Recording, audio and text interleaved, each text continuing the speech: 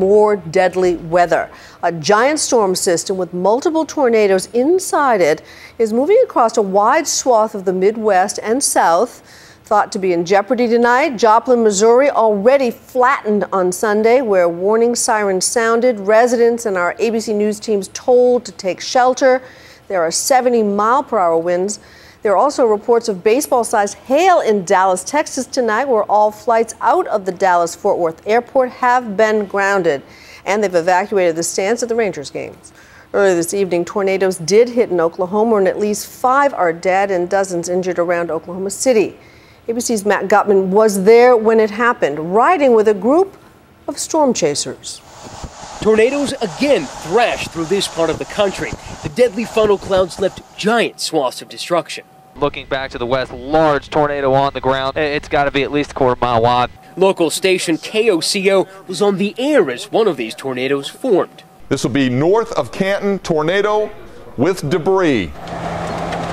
And we, we were on the ground with the Discovery Channel storm chasers zeroing in on that same tornado barreling down country roads at 80 miles an hour in the Dominator, this tank like vehicle that seemed designed for a Mad Max movie.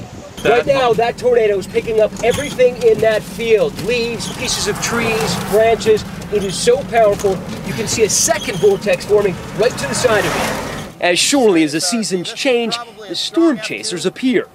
Majority of storms move slightly to the northeast, east northeast, so this thing is actually moving away from us a little bit.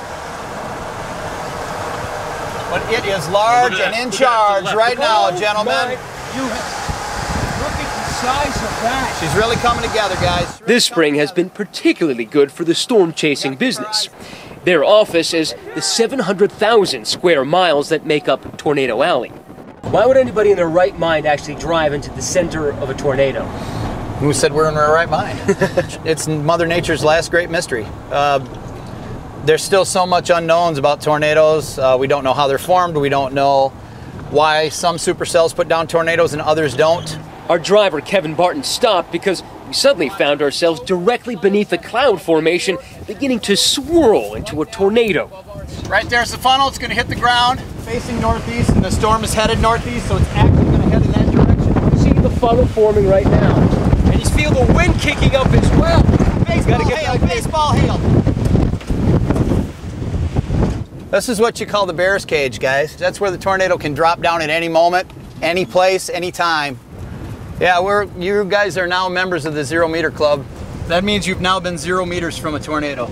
With more storms predicted in the coming days, these chasers will continue to be in hot pursuit. For Nightline, I'm Matt Gutman in Canton, Oklahoma. terrifying. Stay safe, Matt.